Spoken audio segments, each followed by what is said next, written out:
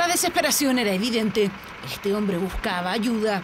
Alguien que pudiese trasladar a su amigo herido a bala al interior de este auto. Con una silla de ruedas lo llevaron al interior del hospital Barros Luco, mientras el conductor del auto se va. Según la investigación, el herido habría sido reconocido por un funcionario del ejército en retiro que se defendió del intento de robo de su auto. Se logra establecer eh, mediante reconocimiento de que la víctima ¿cierto? lo reconoce como uno de los involucrados directos en el, en el delito de, de este homicidio frustrado en contra de este suboficial del ejército en retiro.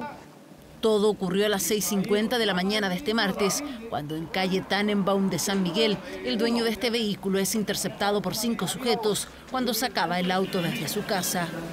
Quienes, provistos de armas de fuego cortas a rostro descubierto, efectúan dos disparos en contra de la víctima. Desciende de su vehículo e ingresa a su domicilio, instante en que eh, un familiar le entrega un arma de fuego eh, que inscrita en su propio domicilio, con la cual este sujeto repele obviamente el acto del cual estaba siendo intimidado por parte de estos otros tres sujetos y procede a efectuar diversos disparos también en contra de los sujetos que lo estaban intimidando a él.